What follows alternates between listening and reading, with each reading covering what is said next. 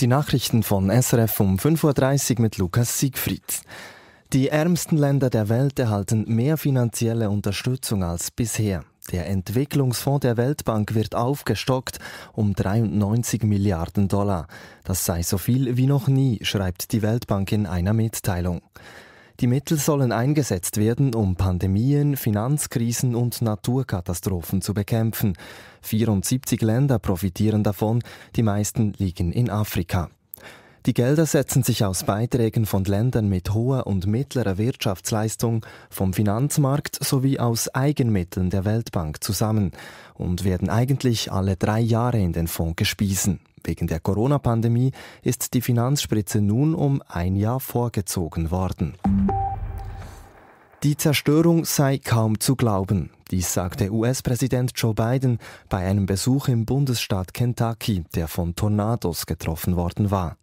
In Mayfield, einem besonders betroffenen Ort, sprach Biden mit Einwohnerinnen und Einwohnern und er sicherte ihnen Hilfe zu. I intend to do whatever it takes as long as it takes, as long as it takes to support your state, your local leaders, and as you recover and rebuild, because you will recover and you will rebuild. Er werde alles tun, was nötig sei und solange es nötig sei, um den Wiederaufbau zu unterstützen, so Biden. Nach der Ölpest vor der Küste des US-Bundesstaats Kalifornien sind die Betreiberfirma der betroffenen Pipeline und zwei ihrer Tochterunternehmen angeklagt worden. Die Staatsanwaltschaft in der Stadt Los Angeles wirft ihnen vor, fahrlässig gehandelt zu haben. Angestellte hätten wiederholt Warnsignale ignoriert. Außerdem sei die Pipeline unterbesetzt und die Mannschaft übermüdet gewesen.